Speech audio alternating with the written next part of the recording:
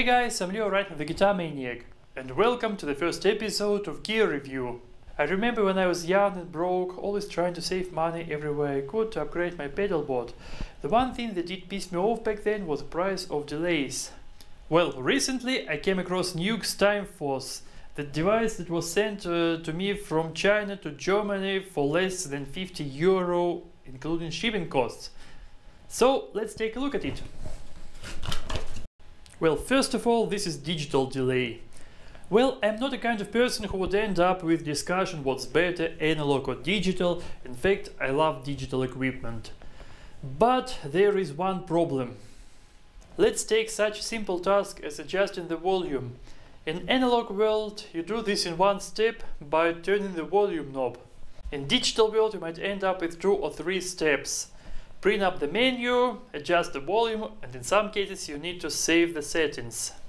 Some of the software engineers forget sometimes that command bar isn't user-friendly interface for an average person. But before I jump to the conclusions, I just want to test this device. NUX has another type of delay, the time core. It looks less sophisticated than this one and is actually cheaper. But for me it was critical to have a tap tempo button, so I decided to go with this one. Timecore has this button as well, but it's combined with on-off button, and this might get confusing in live gig. The first question is, how does it sound? Well, this device has 11 types of delay, and here are the samples of all of them.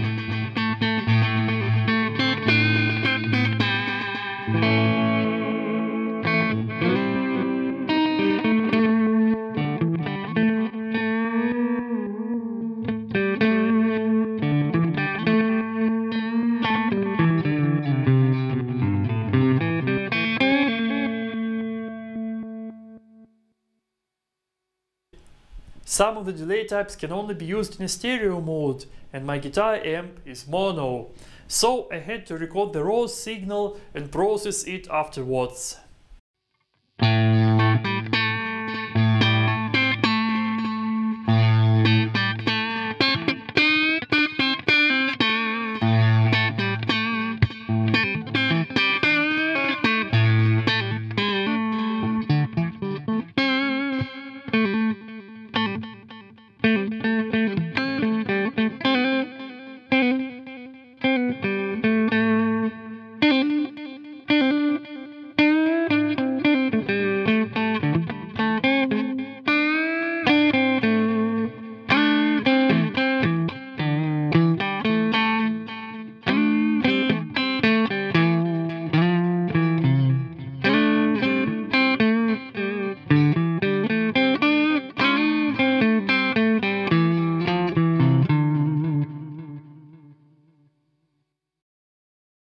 NUX time force is slightly bigger than an average Stompbox, and technically speaking it has much more to offer than some of expensive delays. First of all, it can work with stereo signal. Second, just look at its color LCD display. I haven't seen anything like this at any other delay. There are no sophisticated interfaces so operating is very easy and self-explaining. There are four knobs for time, repeat, tweak and mix, by pressing the type button you can choose the type of delay you want. Subdivision does what it stays for, the subdivision of the notes. And this is actually the first time I see this function on the Stompbox delay. Tail function allows you to apply the effect to a last played music phrase before you switched off delay. First I was afraid of save button. Usually it goes with bring up a menu, select function, adjust your settings interface which requires a lot of time. But all you need it for is saving your favorite presets if you want. This device is really user-friendly, but you still should read the user's manual, because there are a couple of hidden functions that you might not figure out on your own. For example, if you press and hold tap button for more than a couple of seconds, you turn your delay into a 40 second loop pedal. This is something that I'll probably never use, but it's a nice touch. The good thing is, if you turn off the power and turn it back on, you'll get the exact the same settings you were using before turning off the power. It works with standard 9 volt battery or 9 volt power supply. You might ask as well, does this device have a true bypass or not? Well, the user's manual says it has both. True bypass allows you to connect input and output when the device is in off mode, so it doesn't have any effect on signal flow. Otherwise, the signal will be bypassed through electrical circuit of your device, but this shouldn't be a bad thing. For example, you have a long cable which has DC resistance and electrical capacity. This cable will influence your signal flow. If you don't want this, so true bypass might not be the best option for you.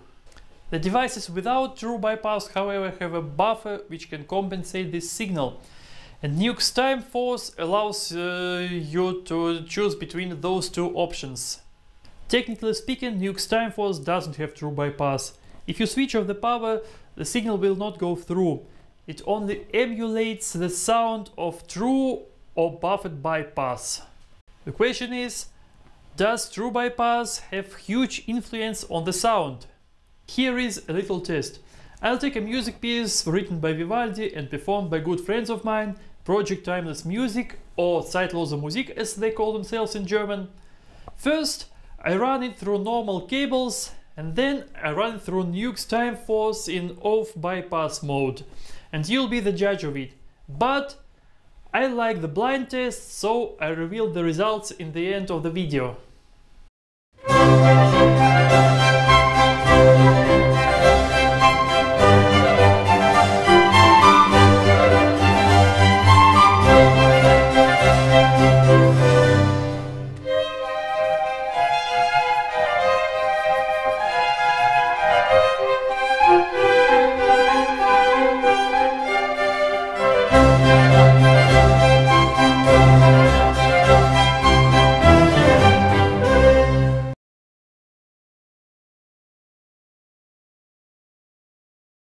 My personal opinion, I like this device.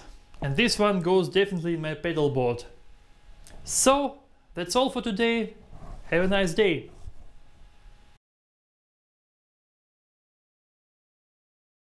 Coming up next on Gear Review, NUX Mod Core.